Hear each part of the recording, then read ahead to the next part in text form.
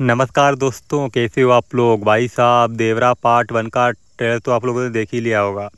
भाई ट्रेलर में बोलते हुए नज़र आते हैं एनटीआर कि भाई मुझे एक बहुत ही भयानक सपना हुआ। मुझे समुंदर के किनारे सब भाई खून खून दिखा और भाई वो खून सब मैंने किया है। भाई साहब ट्रेलर को भाई देखकर रोंगटे खड़े हो जाते हैं।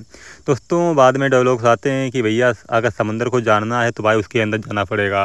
दोस्तों, कहानी समंदर पर है और जब भाई एक और डायलॉग इसमें है, बोलती दिखती हैं कि भाई जो दोस्त होता है, वही दुश्मन होता है। यानी दुश्मनी भाई बहुत ही कर रही है और बोलती हुई नज़र आती हैं कि अपनों पर विश्वास ना करना। तो भाई साहब, आप लोगों ने ऐसी मूवी देखी होगी, एक सलार। सलार फ़िल्म में पहले दो दोस्त होते हैं, बाद में पक्के दुश्मन बनते हैं। ऐसी मूवीज़ बहुत सारी मिली हैं। आप लोग बी एम सी एम देख लो। बी एम सी एम में भाई यही वाला फॉर्मूला आजमाया गया था। बी एम सी एम में भाई जो आर्मी में होता है, दोस्त बाद में वो दुश्मन बनता है, भाई भाई विलन बनता है। उसी प्रकार से भाई सलार में जो होता है, वो बाद में भाई पार्ट में, दूसरे पार्ट में विलन दिखाया जाएगा। लेकिन जो भाई, हमारी मूवी आ रही है Devara part one Devara part one में कौन होगा विलन तो भाई साहब सैफ अली खान। हाँ भाई साहब सैफ अली खान पहले आपको दोस्त देखने के लिए मिलेंगे। भाई, बाद में बन जाएँगे दुश्मन। तो यही कहानी भाई होगी, ज़्यादा कहानी कोई इंटरेस्टिंग नहीं है, कहानी रिपीटेड है, इसी मूवी आप लोगों ने देखी है। भाई साहब, देवरा का जो विजुअल इफ़ेक्ट है, जो भाई समुंदर वाला सीन है, जहाँ मछली पर बैठे हुए नज़र आते हैं हमारे एनटीआर भाई बहुत ही कमाल का सीन है, बहुत ही कमाल का सीन है। पब्लिक को इससे कोई फ़र्क नहीं पड़ेगा भाई, कहानी रिपीटेड है क्या है, क्या नहीं। अगर भाई फ़िल्म अच्छी है तो चलेगी। दोस्तों, कहानी की बात करें तो भैया, अब पूरी कहानी तो फ़िल्म में दिखाई नहीं गई है। अब लोग कुछ लोग बोल रहे हैं रिपीटेड है, कुछ लोग कुछ बोल रहे हैं। अगर भाई साहब, इसकी कहानी थोड़ी भी अलग हुई, थोड़ी भी अलग हुई, कुछ तो भाई कहानी सस्पेंस डाल पाई फ़िल्म में तो भाई साहब, ये फ़िल्म इतना फाड़ेगी कि आप पूछो ही मत, क्योंकि फ़िल्म की स्टोरी बहुत ही अच्छी है। फ़िल्म में जो भाई एक्टिंग करी है एनटीआर ने, भाई बहुत ही फाड़ू एक्टिंग करी है। मैं भाई उनका फ़ैन बन गया हूँ त्रिपल आर से, और त्रिपल आर के बाद जो भाई उनकी देवरा पार्ट वन मूवी आ रही है, भाई उसमें बहुत ही फाड़ू एक्टिंग करते नज़र आ रहे हैं, जो हमारे एन टी आर हैं।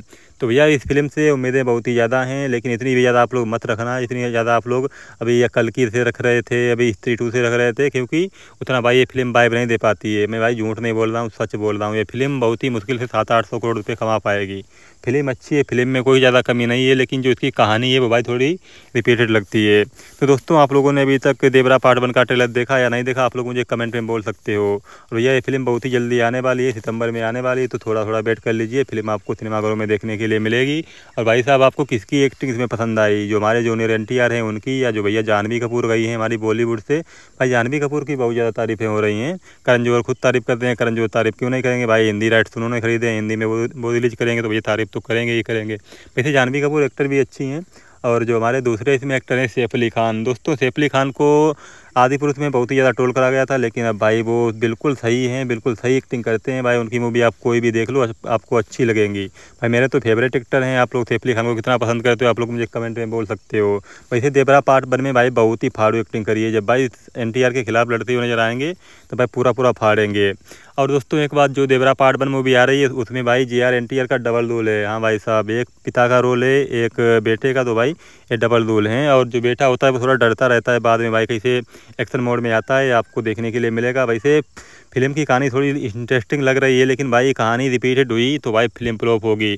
जो इसके डायरेक्टर हैं, कोटला सिपा भाई बता रहे हैं कि ये मेरा ड्रीम प्रोजेक्ट है, मैंने इस पर बहुत ही ज़्यादा मेहनत करी है। तो भाई ऐसा भी हो सकता है कि कहानी पर उन्होंने बहुत ही ज़्यादा फोकस करा होगा। दोस्तों, जिस प्रकार से कल की सिनेमाघरों में आई है कल की पर भाई फोकस करा है नागा ने, अगर उस प्रकार से भाई फोकस किया होगा, इन्होंने तो जो हमारे कोटला सिपा है तो भाई फ़िल्म ऑल टाइम लोग जाएगी। दोस्तों, आपको क्या लग रहा है, कितना भाई पैसा कमा पाएगी, कितना नहीं, आप लोग मुझे कमेंट में बोल सकते हो, और वीडियो पसंद आए तो लाइक कर दो यार, और कमेंट मार दो, आप लोग वीडियो कहाँ से देख रहे हो? ऐसे वीडियो पाने के लिए प्लीज़ लखनडोज को आप लोग कर लो सब्सक्राइब क्योंकि मैं ऐसे वीडियो लाता रहता हूँ इस चैनल पर तो भैया, मिलते हैं आपको एक और ऐसे नए तड़कते भड़कते वीडियो के साथ। तब तक के लिए जय हिंद, जय भारत, वंदे मातरम दोस्तों।